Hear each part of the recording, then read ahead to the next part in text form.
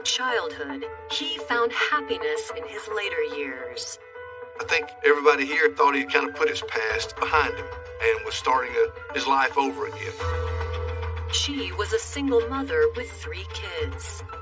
She was raising her three kids. She felt like she was on her own. She just wanted a better life for us. Their unlikely friendship gave them both new hope. He spent money on the kids. Just seemed like he really loved family. Until the unthinkable happens and tears their world apart. I yelled his name and he just laying there and there's blood everywhere. It looked like someone had just splattered paint all over the walls. This seems like someone with some experience committed this crime. As the investigation begins, detectives question if a big city crime has made its home in their quaint Tennessee town. He portrayed himself as being connected to the mafia in New York City. As investigators probe deeper into the mystery, buried secrets are uncovered. He was very controlled through everything. When she would eat, when she would shower, what she decided to order at a restaurant. He digs it up, he opens it up, and there's a pill bottle. The first question was, How did you find this stuff? I said, Now tell me what happened.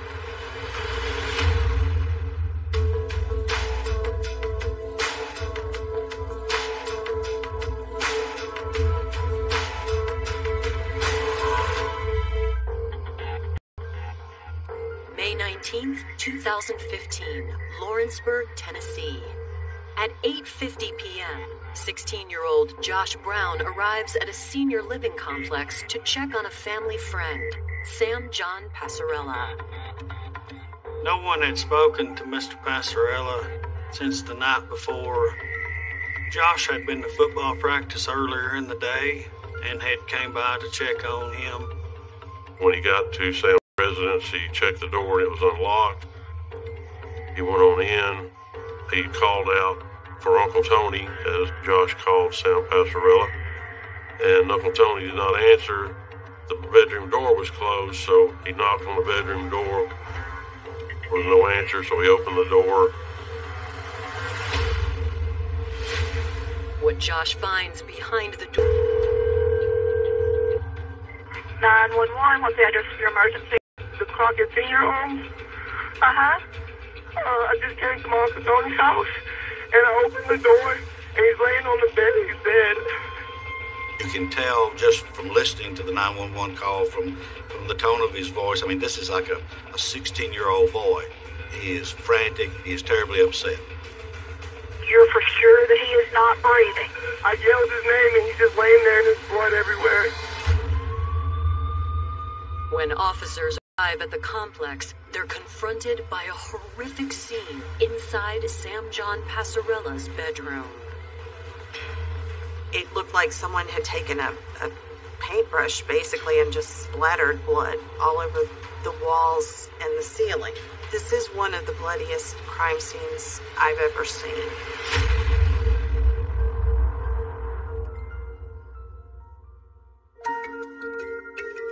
Sam John Passarella was born on August 6, 1945, into a large Italian American family in New York City. Sam John had a charismatic sense to him. You know, he had the personality that just it attracted people. But Sam John had a knack always of seeming to be in trouble in the big city of New York. Just before Sam John started high school, his family shipped the troublemaker off to rural Lawrence County, Tennessee, where another branch of the Passarella family lived. His family sent Sam down in hopes that his uncle and their family would have some good influences on him. He first became known as a musician, as a singer. He and some of his friends started a band, a dance band, that would play at parties and dances and clubs. It was back in the early 70s, and he was like a crooner. He just knew how to get the crowd in the palm of his hands. He really was an entertainer. Sam John moved to Nashville after high school to to try to make it big in the music scene there. While he was waiting for his chance at fame, Sam John fell back into the mischievous habits of his youth. He began the business of counterfeiting and buying and selling stolen property, selling drugs, portrayed himself as being connected to the mob or the mafia in New York City. Sam John fell into even more trouble in 1982 when a man named Monty Hudson allegedly cheated him and his gang out of thousands of dollars by selling them a batch of. They abducted Mr. Hudson and his wife at gunpoint in the parking lot of a motel. Sam John and another man took Monty Hudson with them in their vehicle, and he, that was the last time he was ever seen until they found his body.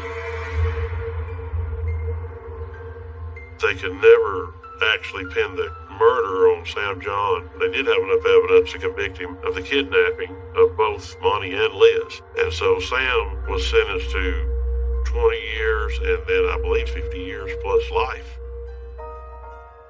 Facing the prospect of life behind bars, the former tough guy mellowed out in prison.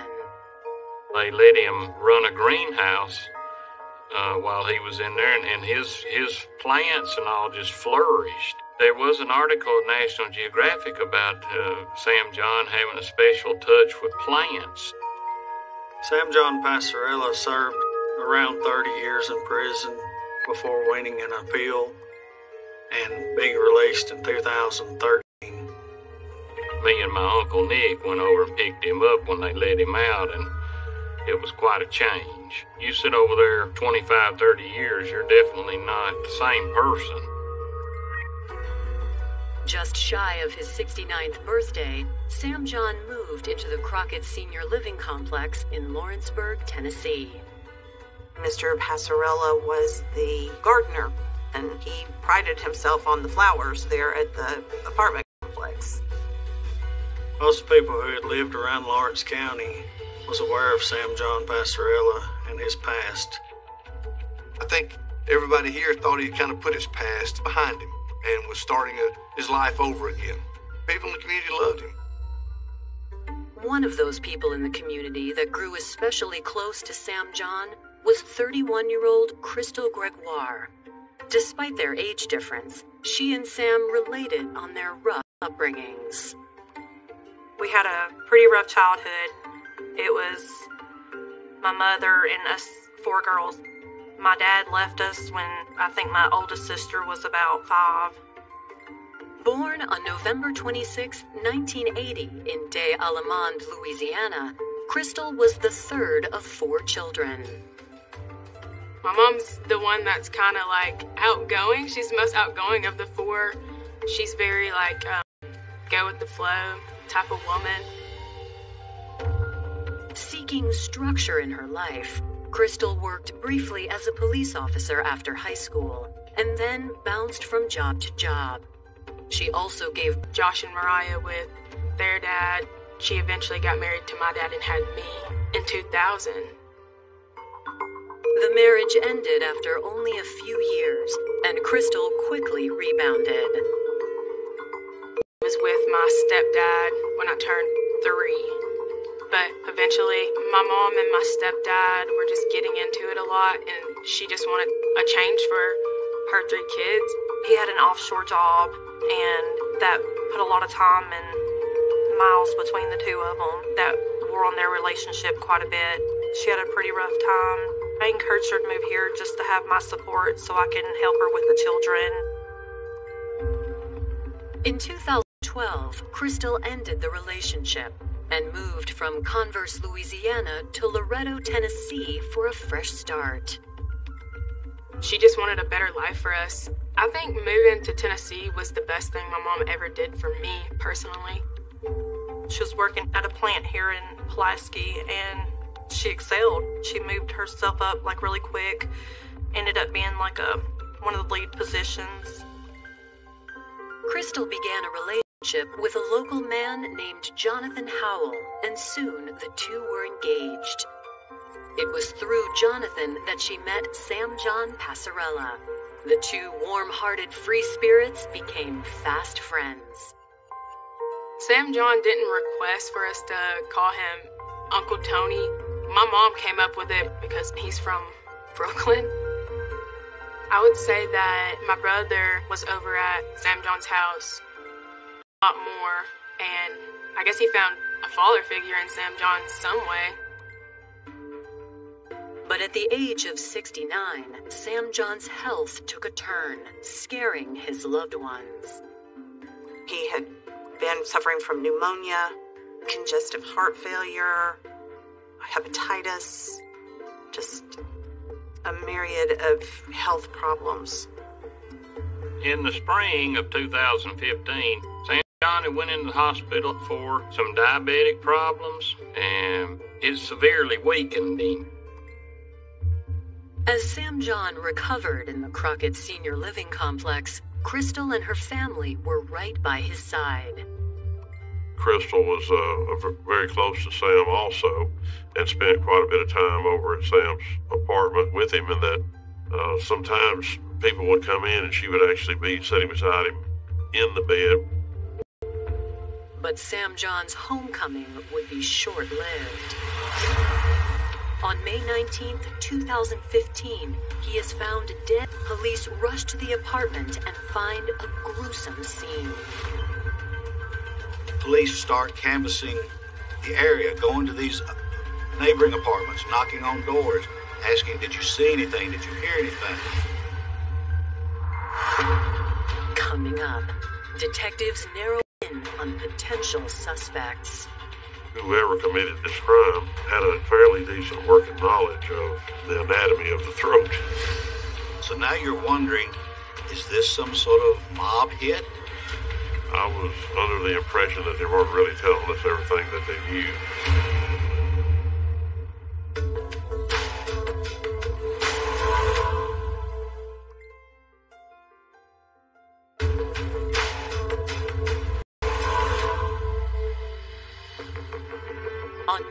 2015, local and state law enforcement in Lawrenceburg, Tennessee are on the scene of a brutal murder. The victim is 69 year old Sam John Passarella. The victim is laying in his bed, crossways of the bed, with his feet in the floor. There's a, a large pool of blood underneath his head. He very obviously had been beaten with some type of object about the head. The wounds that I observed on Sam, a lot of them have half moon shapes. That's very typical of a hammer or possibly a pipe that has a rounded end on it. In addition to the blunt force trauma wounds, officers notice a deep gash in Sam John's neck. Appeared that perhaps the vein in his neck had been cut with a knife because very obviously there was a great deal of blood coming from the wound in his neck. Whoever committed this crime had a fairly decent working knowledge of the anatomy of the throat, or at least what would ensure a for sure death. Based on the positioning of Sam John's body, detectives suspect he had no idea what was about to happen. Someone was standing behind him when they struck him, and then he fell directly backwards and tried to protect himself with his hands because there were wounds on his arms from where he had tried to defend himself. And there's a knife in his hand. The knife was a large bread knife. It looked out of place because there was no blood on it, and that wouldn't be my first choice of a defensive weapon. When detectives searched the the victim was known for carrying large amounts of cash and prescription medication, and there was no prescription medication or money located in the crime scene. There was a possibility of maybe some drugs that might have been a motive for somebody trying to break in to take his drugs. As investigators continue logging evidence throughout the house, clues paint a peculiar picture. In the victim's bathroom, the lid was closed on the toilet. Upon opening the lid, the victim's cell phone was located inside. When I entered the kitchen, I was specifically looking for a set of knives that that knife that was in Sam's hand may have come from, and the largest knife in the wooden block was missing. It did match the one that was in the bedroom in Sam's hand. There was a bottle of bleach sitting there. If it had been used, it will destroy any DNA or uh, uh, blood evidence uh, that might have been present. Detectives now suspect they may be dealing with a professional killer, especially considering Sam John's well known past. From what I understand about Sam, he liked the people to think he was uh, maybe connected with the mafia. Then he's found murdered in a very bloody scene, and it looks like someone with some knowledge had tried to clean up the crime scene. So now you're wondering is this some sort of mob hit? After assessing the scene, detectives head outside to speak with 16 year old Josh Brown, Sam John's close friend and the one who discovered his body. Josh's mother, Crystal Gregoire, was there comforting Josh, uh, taking care of him. He was crying so hard. He was so distraught. He still had the phone in his hand and just. just crying. I mean, uncontrollably. Detectives pull Josh aside and ask him when he last saw Sam John. Josh says it was the previous night, May 18th, 2015. He and Crystal had gone to Sam's and they had had supper. They left there and arrived home, which was in Lawrenceburg City, somewhere around 10:30 p.m. Josh says that Sam John seemed to be in good spirits and promised to come to Josh's sister's eighth grade graduation the next day. But he never showed.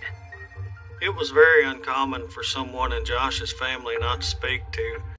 Close to Mr. Passarella from all accounts. Mr. Passarella is sort of like a, a mentor to him. He he stayed with Mr. Passarella sometimes. Obviously, if you're an investigator, your ears perk up then because you think, well, if this kid is there a lot, maybe uh, maybe he knows about some other people's comings and goings. You know who might be mad at Mr. Passarella. You hear him say he was mad at somebody. Josh says that despite his past, Sam John didn't have any problems in the community. I think most people in this area didn't think about his past, that he had served his time and he was a different person when he came out. And that was all behind him. Determining that Josh is not a suspect, detectives thank him for his time and turn to his mother, Crystal Gregoire. Investigators want to talk to Miss Gregoire because, based on Josh's statement, she has been shown to be someone that could give some information about with whom Mr. Passarella had dealings. Detectives ask to meet with her the next day for a more formal interview, and she agrees. The next afternoon, May 20th, 2015, detectives arrive at the home of Crystal and her fiance, Jonathan Howell. In this meeting that Ms. Gregoire has with officers, she tells them that her relationship with Mr. Passarella was a very close relationship. She was just really down. My mom just kept saying, Who would do this? Who would do this? Crystal confirms her son's story about eating with Sam John the night before his murder. When they left approximately 9 p.m., Mr. Passarella was fine. She was expecting to hear from Mr. Passarella. She and Josh, after dinner, had gone home. Home. Jonathan was there at the house, and they simply stayed at home that night. Jonathan corroborated the story. Jonathan says that he hadn't left the house at all on the 18th. But when detectives try and press the couple further, they clam up. I didn't think she was real forthcoming, and I really didn't think Jonathan was very forthcoming either. Uh, so I was uh, under the impression that they weren't really telling us everything they knew. So basically, we left.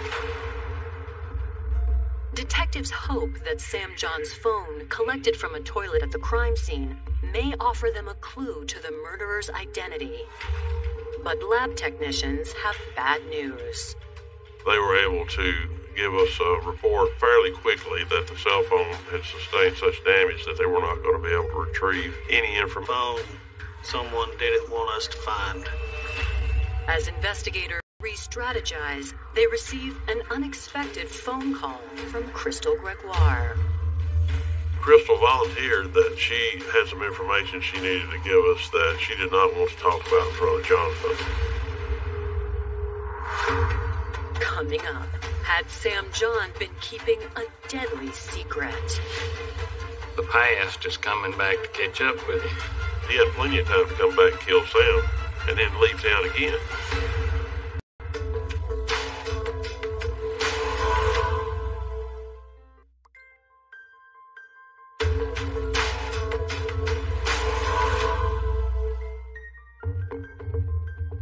May 21st, 2015, three days after the brutal murder of 69 year old Sam John Passarella, Sam's closest friend, 35 year old Crystal Gregoire, tells police that she wasn't entirely transparent in their initial interview. Jonathan was not at home the second time that they talked to her. She tells them that she and Sam had a romantic relationship, that they loved one another. Crystal says she was drawn to Sam John's kindness and attentiveness. Although Mr. Passarella was in such poor health he couldn't engage in a sexual relationship, they slept together, they cuddled, they kissed, they hugged. Sam John took care of her children and that he uh, was a mentor to them. He helped her monetarily. Crystal tells police that although Sam John was a gentleman to her and her family, she knew he had a darker side.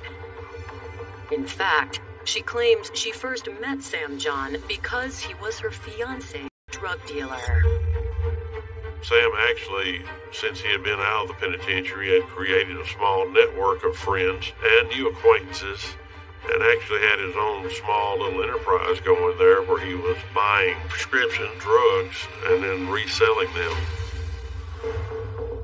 Crystal told detectives on the evening of the 18th that Sam had mentioned having business with a guy later that night. She told Sam or asked him to, to contact her whenever the meeting was over and that uh, she had not heard from him since. Crystal says she suspects Sam's meeting had something to do with a case the Tennessee Bureau of Investigation was building against him. She says that three or four weeks promised that are actually TBI discovery. The TBI discovery documents revealed names, prices, amounts of marijuana that was being moved from Texas to Lawrence County, Tennessee as part of a drug pipeline. The information that was encompassed inside those documents linked Sam to some drug cases that were going on and incriminated him. According to Crystal, Sam John knew there was a snitch in his operation, and he quickly pinned down who it might be. Sam deducted from the paperwork that another guy who was just an acquaintance of his from North Carolina, Sean Tierney, appeared to be providing information. Sean Tierney, also known as Big New York. Tierney's normal procedure apparently was to make a trip to Lawrence County about once a month to get a prescription for narcotic pills, go fill the prescription locally, and give the pills to Sam to sell. In exchange for that, Sean would be paid. Crystal says that Sam John was livid about Sean's supposed betrayal. He was very suspicious of Mr. Tierney. He had indicated to Crystal that he was going to confront him about whether or not he was snitching. This seemed to be a very big lead for us. There could have definitely been some beef between Sam John and Tierney over these documents. So that, you know, leaves the uh, possibility out there that Sam confronted them or has threatened them, and maybe they've decided they're going to get rid of him before he gets rid of them. On May 22nd, detectives call Sean Tierney. He agrees to meet with police in two days. While they wait, detectives pull Sean's phone records. We began looking into Mr. Tierney and discovered he had been in town on May 18th. He had visited a local nurse practitioner. Sean had also been to a local pharmacy. By 4 p.m., the cell tower records tell us that he's leaving Lawrenceburg headed west toward Jackson, Tennessee. By 5 o'clock, his phone goes dead. We lose him somewhere around Union City, which is west of Jackson. For detectives, Sean's missing phone records are a major red flag. When I saw that uh, Big New York's phone died around 5 o'clock, I felt like there was a good possibility he may have turned it off. And he came back and robbed Sam and killed him. On May 24th, Sean arrived and admits that Sam John had recently confronted him about his suspicions that Sean was cooperating with the TBI. He told Big New York that he was very disappointed that Big New York was a CI. Big New York told him, said, I'm not a CI. He says, I'm not the person talking in that. So when he denied it, according to Big New York, Sam believed him. Sean says that on May 18, 2015, he came into town to fill a prescription and drop off the pills with Sam John. He says the conversation was nothing out of the ordinary. He says that he left in the late afternoon of the 18th, left and headed west toward Jackson, Tennessee. That's when detectives pull out Sean's phone records. I said, Why am I losing you at 5 o'clock? He said, Well, it's because my phone went dead. And he said, I had no way of charging it. I suggested to him that he had plenty of time to come back and kill Sam and then leave town again. He says, I can provide you with information to prove to you that I was not here. Big New York tells me that his girlfriend, Samantha Walters, was with him. He provides me with her phone number. After Sean leaves, detectives subpoena Samantha's records. Sure enough, she's making the same track that he is. We track him to Union City, Tennessee, where his phone went dead, but hers did not. They stayed all night in that area. Those records were able to confirm Mr. Tierney's alibi. After clearing Sean Tierney, detectives dig deeper into Sam John's claims about mafia connections. Mr. Passarella played up the mob ties because he liked the persona and people were afraid of it. I don't think Mr. Passarella has any mob ties. I think he just liked to talk. By February 2016, after months of dead ends, investigators turned their attention back to Crystal Gregoire. Investigators decided to speak with Crystal again. In looking for her, apparently they found her incarcerated in the neighboring county jail. Apparently, Crystal had been convicted of a crime and had violated that probation. On February 4th, 2016, investigators planned to meet with Crystal at the jail. But prior to the scheduled meeting, a tipster calls in with information that will change the entire course of the investigation. When this evidence is turned over to Special Agent Wes, he. Re- Coming up, new evidence brings Sam John's killer to light. It felt like God was watching over us. There had been calls of domestic disturbances. Could envy have been at the heart of the killing? He was very jealous of that relationship. She was crying, saying, Please just calm down. He held a knife up to her throat and said, Nobody will ever find y'all's bodies.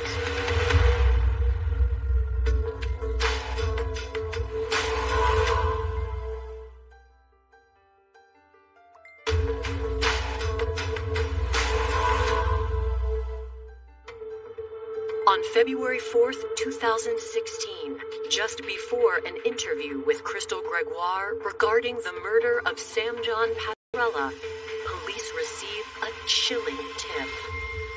Investigators receive a call from Miss Gregoire's landlord, and the trailer that she lived in sat on a piece of his property that had a, a big area behind it.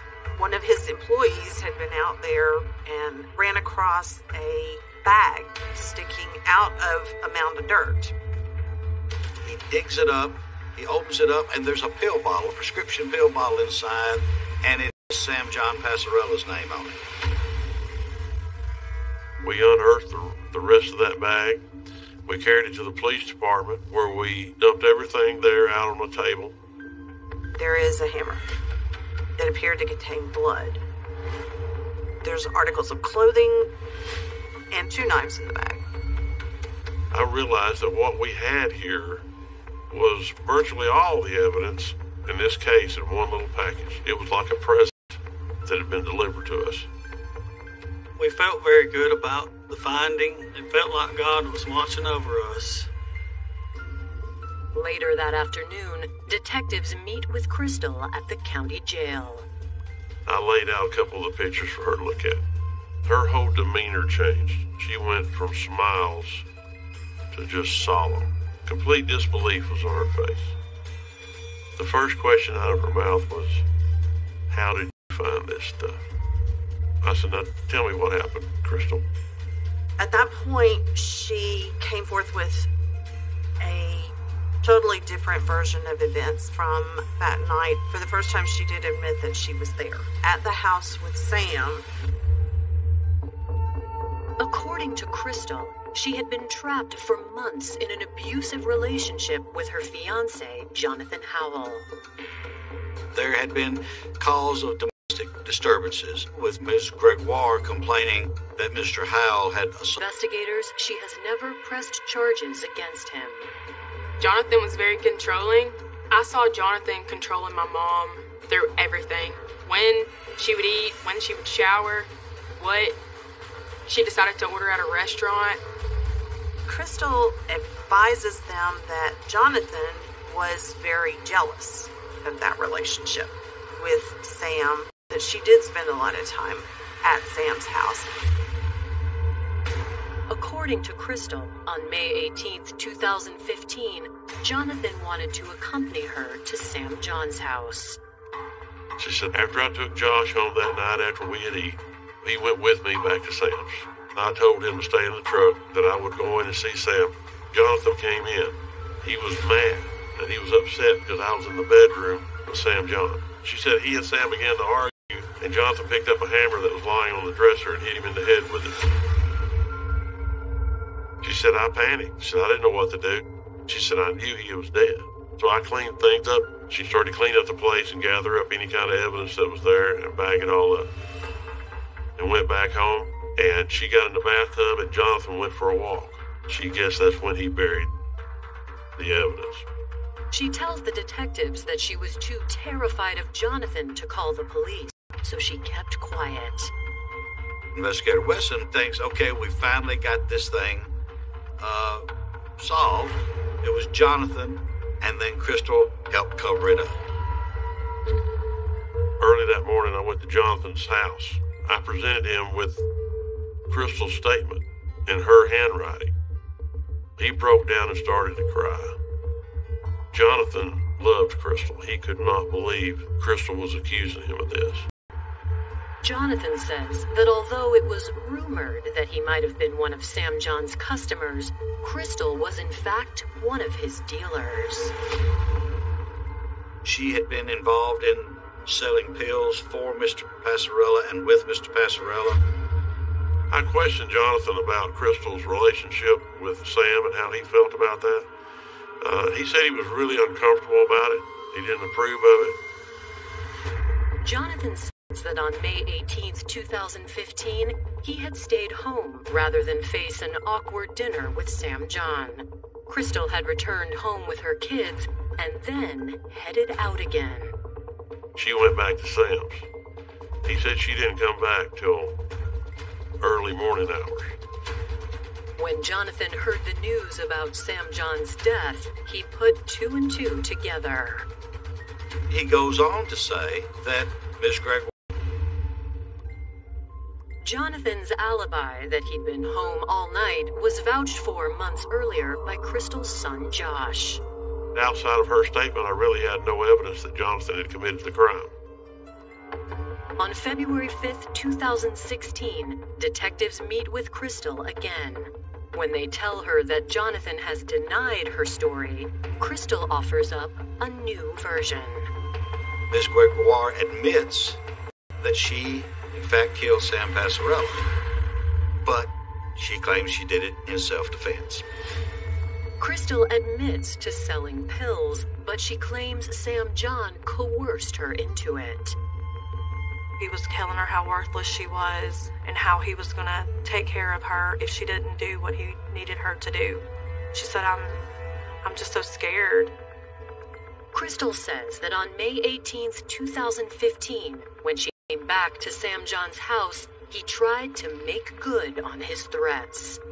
Said he started yelling and cussing me and told me that I had stolen his drug contacts and that I was going around him to do business with his contacts and that he was going to have my bitch ass killed. She was crying, saying, Please just calm down, Tony, just calm down. Please. And she said that he held a knife up to her throat and said, You just sit right there.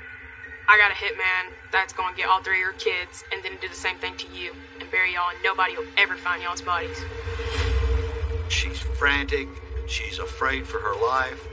She looks right under the edge of his bed and sees a hammer. So she comes up with the hammer swinging, hits him, he falls onto the bed. She continues to strike blows. She said, Well, he laid there on the bed bleeding, but he was still breathing. So I started to clean up, and I thought, I can't leave him alive because if I do, the wise guys will come get me. She said, So I grabbed his phone and I threw it in the toilet, and I got a knife, and I punched him in the throat twice to make sure that he bled out. I said, So you wanted to make sure he was dead? She said, Yes, I did. Her story doesn't make sense because physically he wasn't to do the things you're saying he did. He was in a very weakened condition because of his various ailments. Crystal says that after Sam John was dead, she gathered up the evidence and hid it behind her house. Crystal was charged with tampering with evidence, abuse of a corpse, and first degree murder. Crystal's true motive. I've been involved in a lot of murder cases. Be the coldest one I've ever had any dealings with.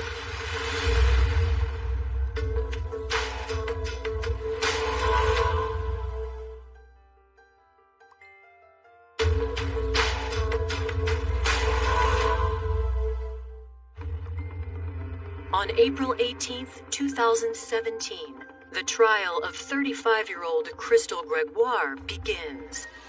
In opening statements, prosecutors claim that Crystal had found unexpected success working in the small time drug ring run by 69 year old Sam Passarella. Not too long before the trial started, we finally developed uh, what we thought was her motive. She says in one of her statements, her final statement, that the reason Sam was so upset with her was that he accused her of going around his back to deal directly with his suppliers. She was trying to squeeze Sam out of his drug business and, and take it over. We felt that she wanted all that business for herself. Prosecutors say that Crystal had manipulated Sam John into thinking that she loved him in order to get close to him. Then, on May 18th, 2015, after setting a romantic mood, Crystal had murdered Sam John Passarella in cold blood. He was struck from behind and was most likely seated on the bed when he was struck. Even after she had beat him practically to death with a hammer, she made absolutely sure he was dead before she left by stabbing him in the jugular twice. She knew what she was doing, and she intended to make sure he did not survive. In police interviews, Crystal had claimed she had killed Sam John in self defense, but the prosecution refutes her story. We found that he was barely able to walk unassisted shortly before his death, that he had to have the walker or a cane, and yet she says he pushed her to the floor. He stood over her, looming over her and threatening her. Look, all she had to do was walk away. You know, I could Sam John off me with one hand. It being a matter of self defense is an absolute joke. When Crystal takes the stand in her own defense, she doesn't back down from her previous claims that she'd killed Sam John only after he had threatened to have his. hand to my mom telling me everything that happened the night that Sam John was murdered. I just thought, okay, it was either him or me, my mom, my sister, my brother. When the jury begins deliberation, the prosecution worries that Sam John's past will sway the jury in Crystal's favor. This wasn't just a claim of self defense against her Sunday school teacher. This was a claim of self defense against Sam John Passarella, who was known to be a person with a violent past, who was known to have been involved in a kidnapping and a probable murder. On April 21st, 2017, the jury returns with a verdict that stuns Crystal's family. When I first heard you are convicted of first degree murder, I was like, this isn't right. I literally just started crying, hugging my sister. When the jury found her guilty of first degree murder, her sentence was automatic under the law life in prison, with the possibility of parole. She killed him in a way that took some time for her to deliver that many blows and then stop and get a knife and stab him. As heinous as that is, that's not even the worst part. She allowed her 16 year old son to discover the body. I've been involved in a lot of murder cases. She may the coldest one I've ever had any dealings with. I'll always remember Sam John as the young, gregarious man being at my grandmother's house making homemade spaghetti and pizza, and uh, that, that'll be the way I remember Sam John. I'll never forget that as long as I'm alive. He was like my big brother.